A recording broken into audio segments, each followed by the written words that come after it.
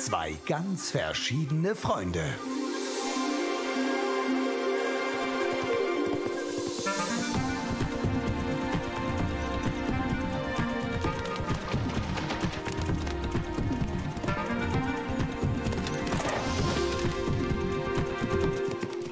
Leider hat die Bärensuche ja nicht so gut geklappt, Yakari. Macht doch nichts. Wir werden morgen am Fluss weitersuchen. Was ist das für ein Gebrüll? Schauen wir nach. Meinst du wirklich, Yakari? Meinetwegen.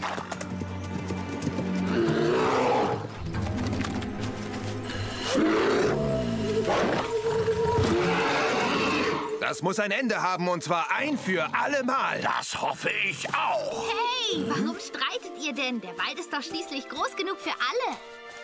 Was? Wieso denn der Wald? Wovon redest du da überhaupt, Yakari? Ja, aber wenn es kein Streit um das Revier ist, was macht euch beide sonst so wütend? Ich will einfach nicht, dass sich der kleine Honigtau mit diesem Wolfsjungen abgibt. Wölfe und Bären haben nichts miteinander zu schaffen, ganz egal ob groß oder klein. Aber Papa, wir haben gar nichts Schlimmes gemacht. Das ist ungerecht. Wir wollen doch nur zusammen spielen. Nein! Nein und nochmals nein! Beruhigt euch doch. Streitet nicht weiter und jeder geht seiner Wege.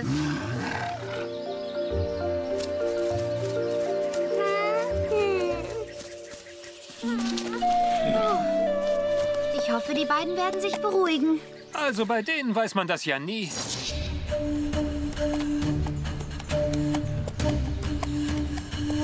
Hoffentlich finden wir auch ein paar Beeren, bevor der Regen losgeht. Oh, diese Büsche sind ein ganz tolles Geheimversteck für uns. Was ist das? Ich glaube, ich weiß, wer sich darin versteckt. Ich will einfach nicht, dass du dich mit diesem Wolfsjungen abgibst. Nein und nochmals nein. Haha! Du hast die Stimme von Fischbeißer genau getroffen. Aber ihr solltet vielleicht lieber zu euren Vätern zurückgehen, wenn ihr keinen Ärger wollt. Wieso denn? Wir machen doch nichts Schlimmes. Wir wollen einfach nur spielen. Na los, komm. Ja, wir finden ein besseres Versteck. Ja.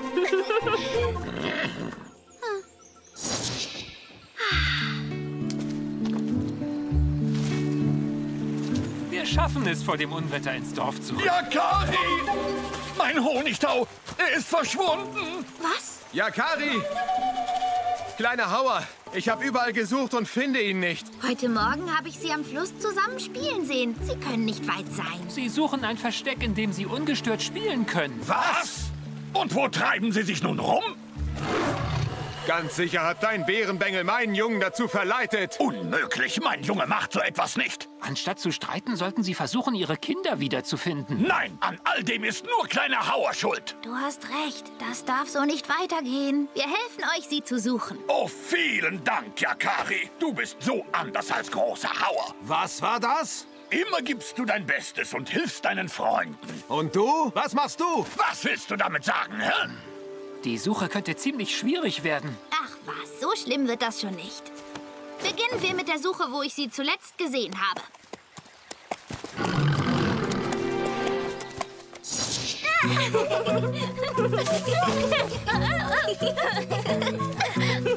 Oh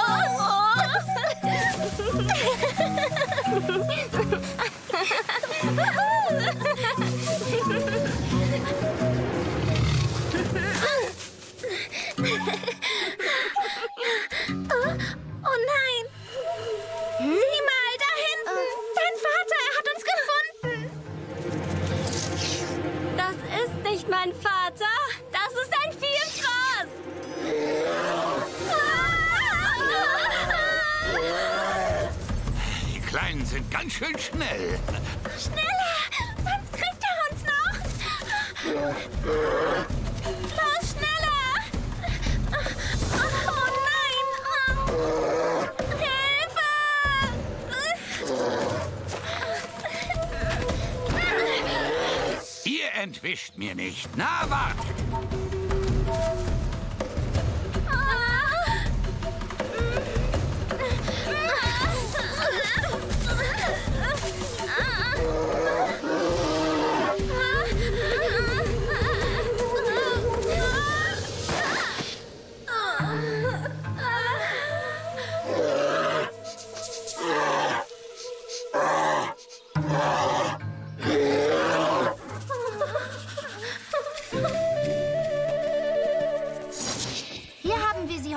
Gesehen.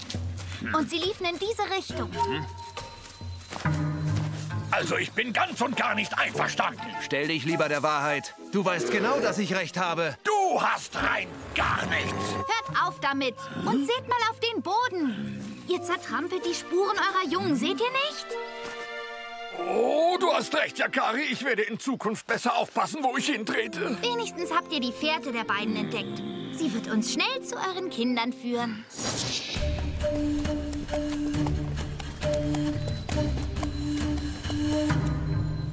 Sie haben den Baumstamm als Brücke nutzen können, aber jetzt ist er durchgebrochen. Ja, natürlich, weil Honigtau viel zu schwer ist. Mein Kleiner hätte den Stamm doch niemals durchbrechen lassen, so flink und wendig wie er ist. Keineswegs. Die Schuld trifft nur kleiner Hauer. Sicherlich hat er meinen Kleinen angestiftet, denn so einen Unsinn macht er nicht. Das Wichtigste erkennt ihr nicht. Sie haben es geschafft, die Schlucht zu überqueren. Das heißt, dass sie noch leben. Es ist zu weit. Auch wenn ich viel Anlauf nehme, schaffe ich es nicht bis zur anderen Seite. Dann werden wir außen herumgehen. Wir nehmen ihre Fährte auf der anderen Seite wieder auf. Kommt mal her.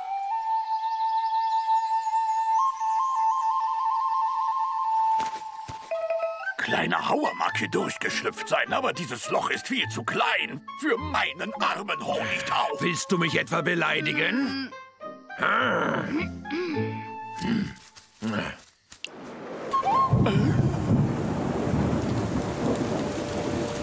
Wir müssen uns beeilen, bevor der Regen alle ihre Spuren verwischt.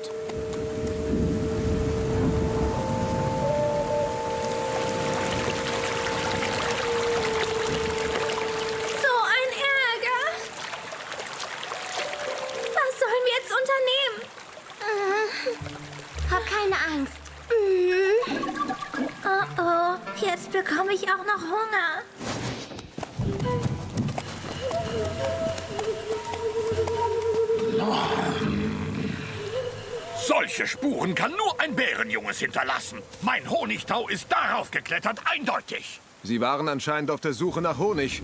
Sie hatten bestimmt Hunger.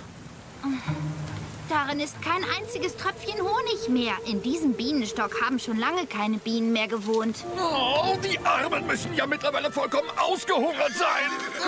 Ich habe ihre Fährte wiedergefunden.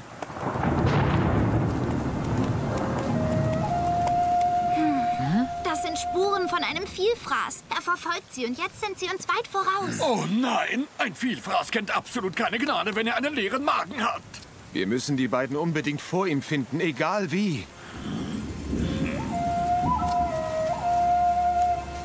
Die Spuren unserer Jungs sind durch den starken Regen nicht mehr gut zu erkennen. Aber der Vielfraß ist um einiges schwerer. Seine Spuren sind tiefer. Darum verschwinden sie bei Regen nicht so leicht. Trotzdem sollten wir uns beeilen.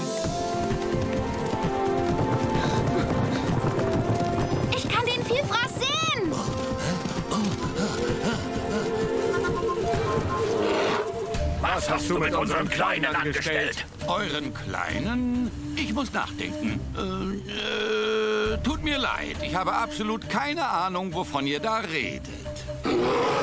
Wir wissen aber, dass du sie verfolgt hast. Oh ja, ja, jetzt erinnere ich mich wieder. Wir haben so ein kleines Wettrennen veranstaltet, aber nur so zum Spaß. Danach habe ich sie irgendwie aus den Augen verloren, leider.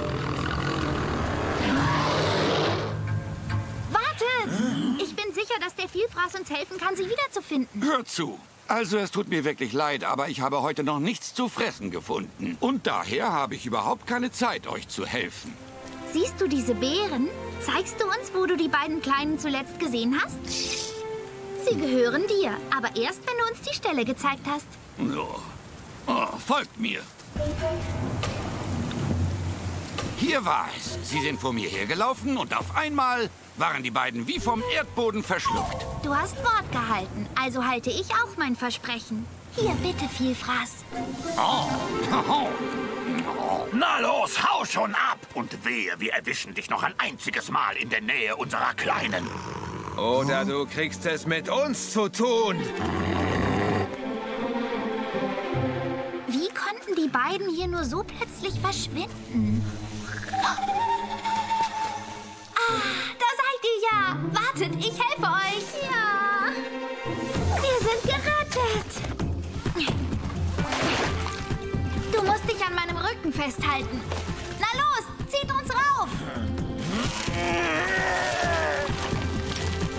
Gut so. Wir sind gleich oben. Seht ihr, wie viel leichter alles geht, wenn wir zusammenhalten? Ich bin ja so froh, dich wiederzusehen, mein Kleiner. Tut uns leid, wir hatten nicht vor, uns in Gefahr zu bringen. Wir haben doch bloß ein geheimes Versteck gesucht, wo wir schön zusammen spielen können. Wir hatten genug von eurer ewigen Streiterei. Alles, was wir wollten, war einfach Spaß zu haben. Wir müssen uns entschuldigen. Ihr dürft miteinander spielen, wann immer euch danach ist. Ja, solange ihr uns immer Bescheid gebt, wo ihr spielen geht. Ihr seid alle herzlich in unsere Höhle eingeladen. Es gibt Johannisbeeren und Fisch. Genug, um jeden einzelnen von uns satt zu machen. Danke, wir kommen gern.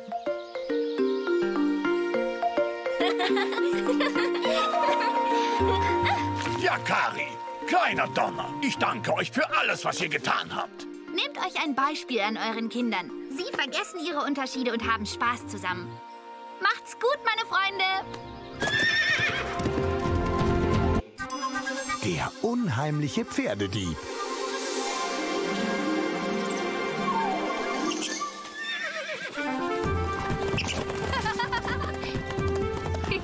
wir sind fast da, Regenbogen. Ich liebe es, Wildpferde zu beobachten.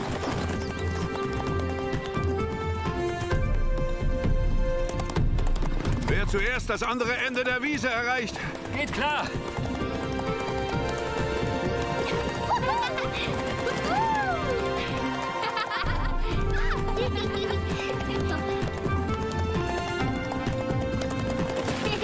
Gewonnen!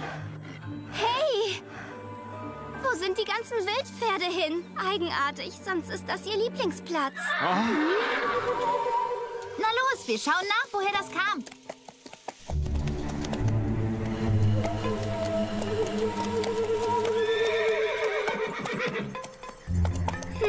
Sehr schwer zu sagen. Da entlang. Von oben sehen wir viel besser.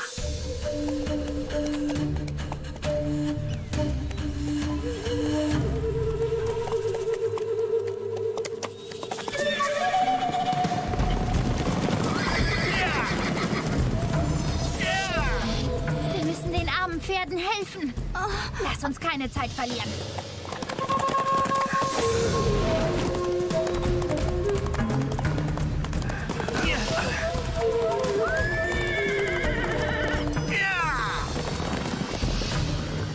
Ein Jäger allein kann eine so schnelle Herde nicht fangen. Wie hat es nur geschafft, sie doch einzuholen?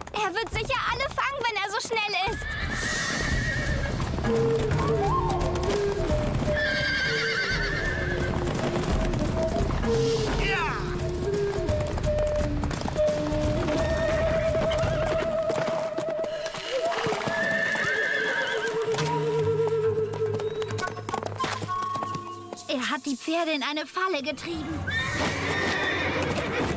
Ho, ho!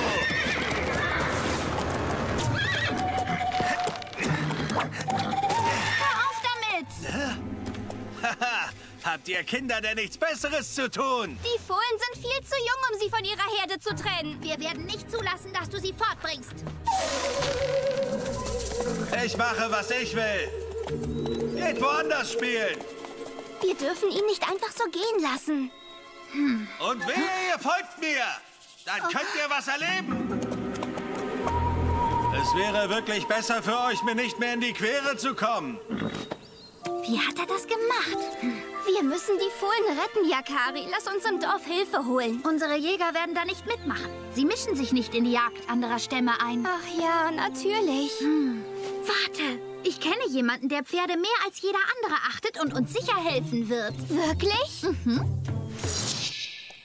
Erinnerst du dich noch an den Weg, kleiner Donner? Ja, aber sicher.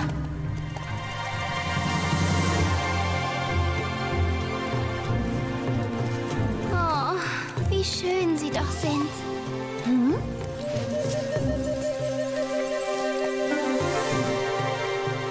Regenbogen, darf ich vorstellen?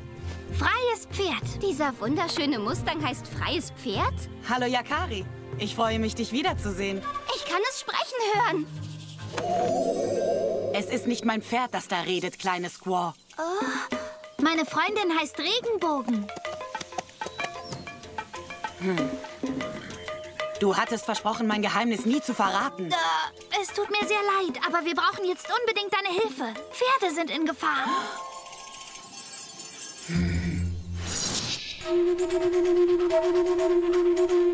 Hm. Ja, er muss da sein. Mhm. Hoffentlich geht es den Fohlen gut.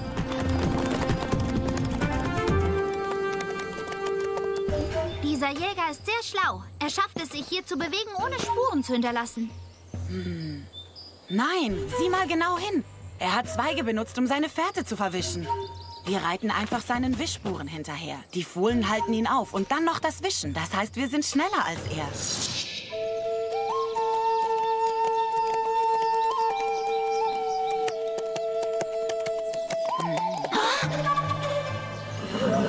Das Pferd erkenne ich wieder. Der Jäger hat es geritten. Es war genauso braun. Wir haben ihn. Er ist allein. Aber wo sind die Fohlen? Ihr werdet mich nie erwischen. Hey. Wie kann er so schnell verschwinden? Ich hatte doch gesagt, ihr sollt mir nicht folgen. hey! Ja, aber wie kann das sein? da oben seht ihr? Ihr werdet mich nie erwischen. das ist eine Falle. Schnell raus hier. Er will uns den Ausgang versperren. Komm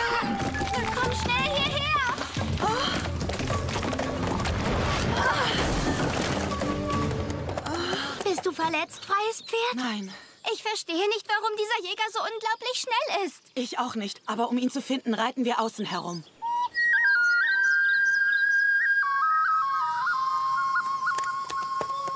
Es ist zu spät, um der Spur noch zu folgen. Machen wir hier unser Nachtlager. Keine Angst. Wir holen ihn ein. Ich verspreche es euch. Aber wie sollen wir das nur anstellen? Er ist viel zu schnell für uns. Ich denke, das ist nur ein Trick. Der Jäger muss ein Geheimnis haben, das ihn so schnell macht. Ja, genauso wie ich mich an der Flanke meines Pferdes verstecke und dadurch unsichtbar werde.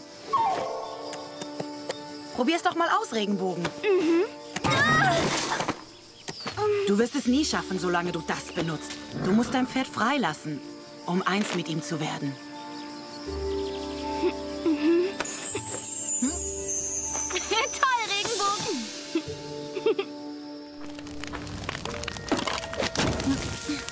Es viele Frauen, die jagen? Wie war dein alter Stamm? Haben da die Squaws auch arbeitende Männer erledigt? Sie haben das Recht, alles zu sein, was sie wollen. Jägerin, Schamanin, auch eine Frau als Häuptling ist möglich. Oh, oh, ein Stamm mit einer Frau als Häuptling.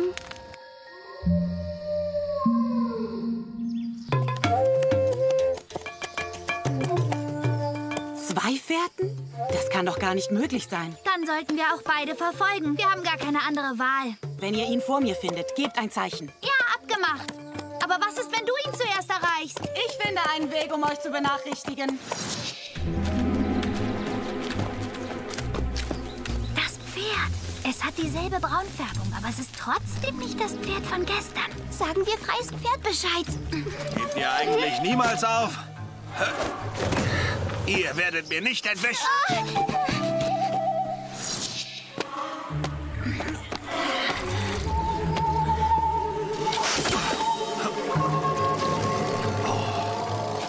ein Feigling, der sich an Fohlen vergreift. Du hättest mir lieber nicht folgen sollen. Was machst du denn da? Nein, lass ihn in Ruhe! Ah! Oh nein!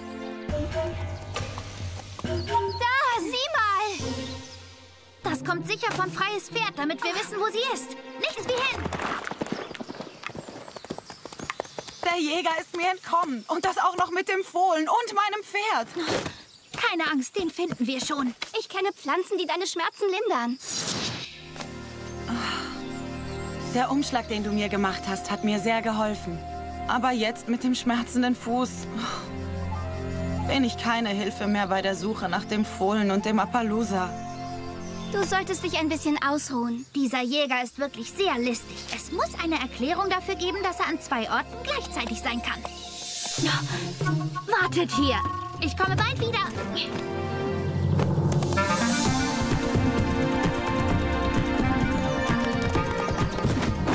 Irgendwas stimmt da nicht. Ich weiß ganz genau, dass das Pferd des Jägers gestern keine weißen Ohren hatte. Du hast recht, Yakari. Da hinten ist er.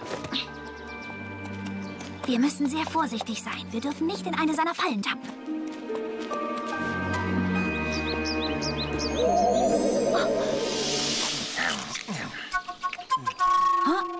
Oh, das erklärt alles. Diese beiden sind Zwillinge und ich weiß, wie wir die Fohlen befreien. Doch dafür müssen wir Regenbogen und freies Pferd holen.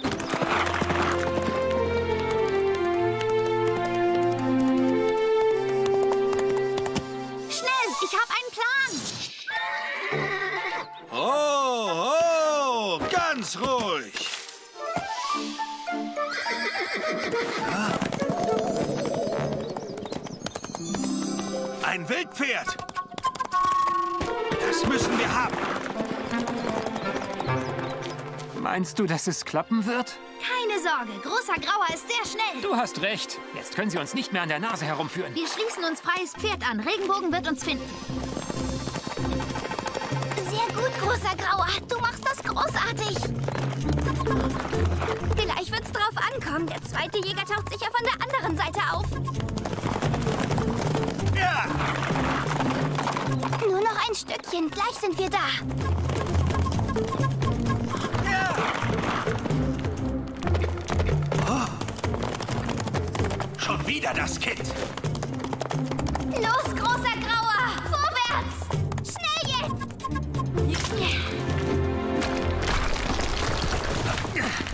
Schnell zurück zum Eingang des Tunnels. Ja. Reingefallen auf ihre eigene Falle. Ja, und sie werden Tage für den Weg um den Berg brauchen. Mit deinen Fähigkeiten kannst du alles erreichen, Regenbogen. Du verstehst dich mit Pferden und kennst alle Kräuter. Du wirst Großes erreichen, da bin ich ganz sicher. Dann lasst uns schnell aufbrechen. Die Fohlen vermissen ihre Herde. Mal sehen, ob sich alle Pferde meiner Herde anschließen wollen. Ich würde gut auf sie aufpassen, denn es soll ihnen nie wieder etwas passieren. Sie werden alle glücklich bei dir sein, freies Pferd.